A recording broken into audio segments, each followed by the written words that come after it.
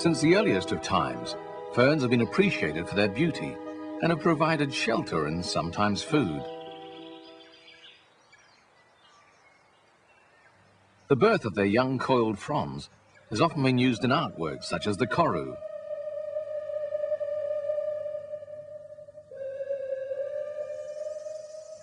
Ferns are popular in our parks and gardens,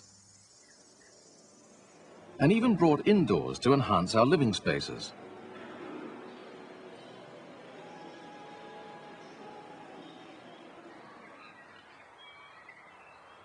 There are as many as 12,000 species of ferns throughout the world. Some are the size of your fingernail, while others are as tall as a tree.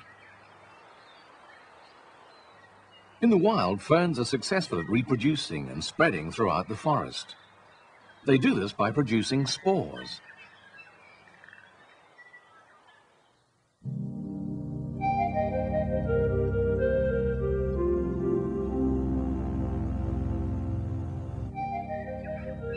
The familiar fern is known as a sporophyte.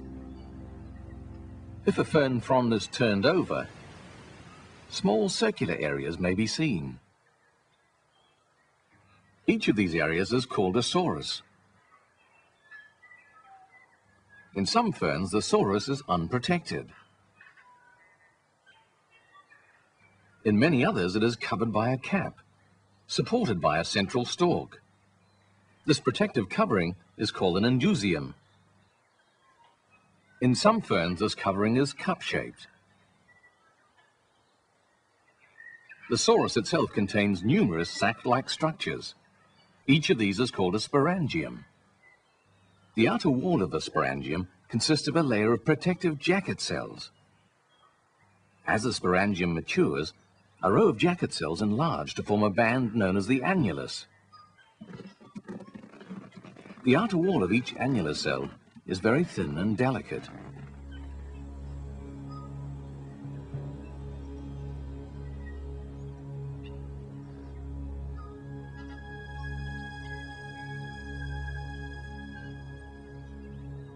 On the opposite side of the sporangium, several delicate lip cells form.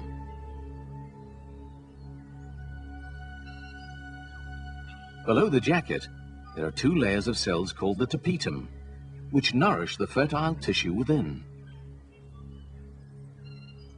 The fertile tissue consists of sporocyte cells. Each sporocyte cell is diploid, containing two sets of chromosomes, one from each parent.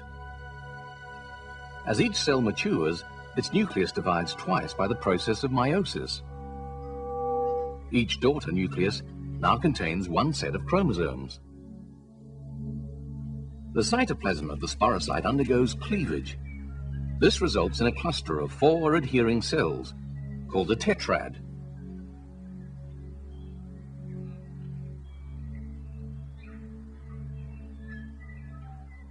The tapetum now begins to break down, depositing a very tough protective coat of sporopollenin. Surrounded by this thick resistant wall, each cell is now called a spore.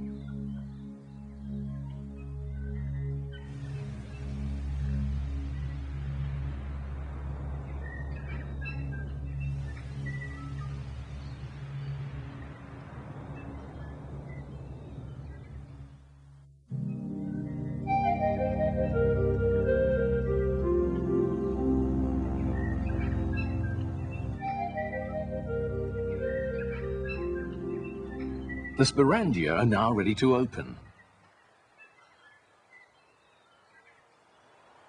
Opening is accomplished by the annulus that encircles the sporangium. The annulus begins to dry out as water evaporates from its surface. The tension or pull between the remaining water molecules and the wall now increases. The thick inner and side walls resist this but the thin outer walls are easily pulled inward.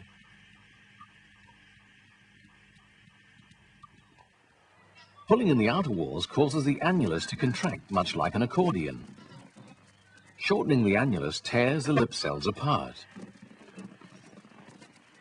As the annulus continues to shorten, the tear enlarges and the spore case opens further. When too much water is lost, the water molecules are no longer able to hold together. When this happens, the pull on the wall is released, and the annulus springs forward, closing the sporangium so fast that the spores are thrown out. This process is repeated in thousands of sporangia on a leaf, so that large quantities of spores are released.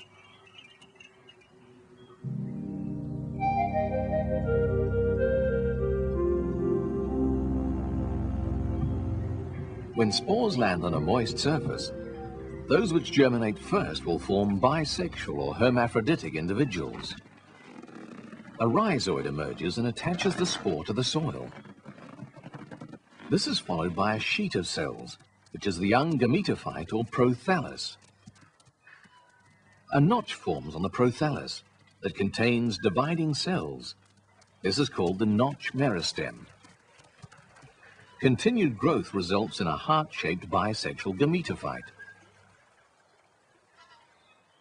The lower surface is firmly attached to the soil by numerous rhizoids.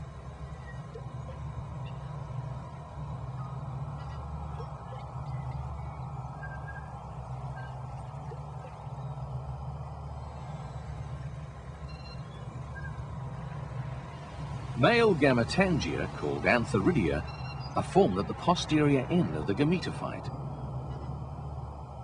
The outer wall of an antheridium consists of ring cells and a cap cell, which surround fertile tissue.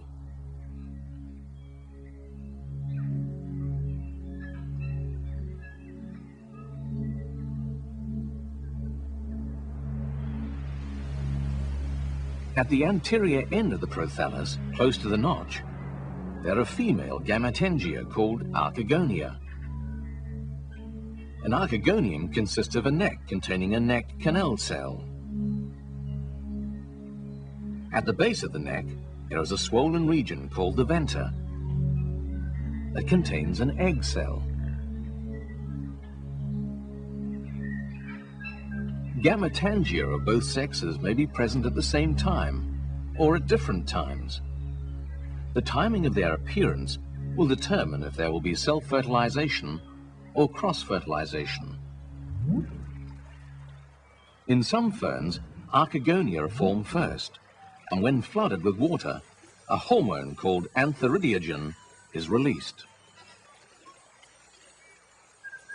This hormone will stimulate adjacent plants to stop growing and form antheridia, but no archegonia. A bisexual gametophyte in a female phase may therefore be surrounded by several male gametophytes, increasing the chances of cross-fertilization.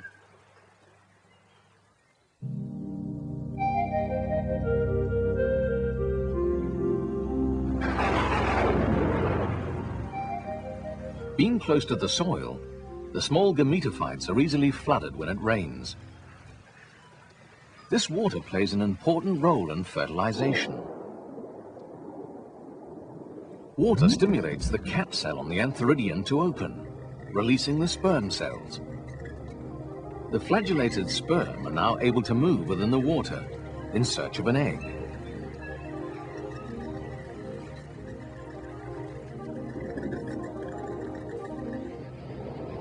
Sperm consists of a spiral cell body bearing numerous flagella that move it forward. Water also stimulates the archegonium to open. The contents of the neck canal then diffuse into the surrounding water, where they act as a sperm attractant. The attractant stimulates a sperm to swim towards the open archegonium. It then swims into the opening and moves up the neck canal towards the egg cell. Fertilization is accomplished when the egg and sperm nuclei fuse. This creates a single diploid cell, the zygote.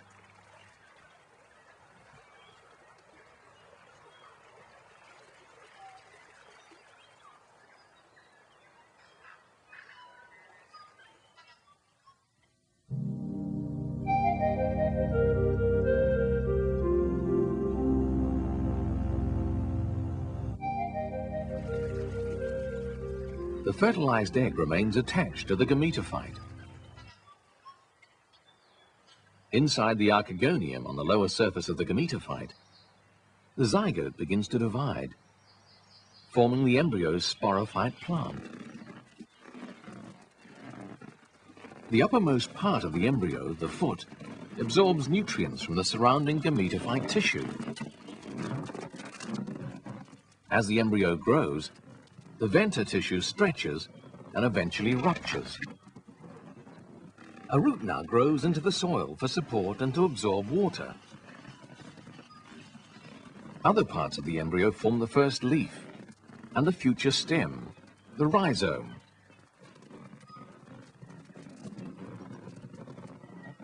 The leaf grows through the notch in the gametophyte to reach the sunlight. Eventually the rhizome emerges and provides additional leaves and roots. In this way, a new plant is formed that matures into another spore-producing fern, completing the reproductive cycle.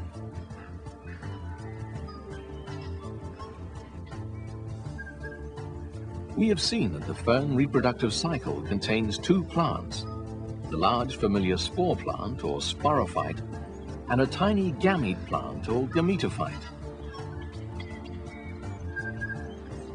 Using spores to travel great distances and gametes which introduce genetic variability, ferns have spread and evolved throughout the world.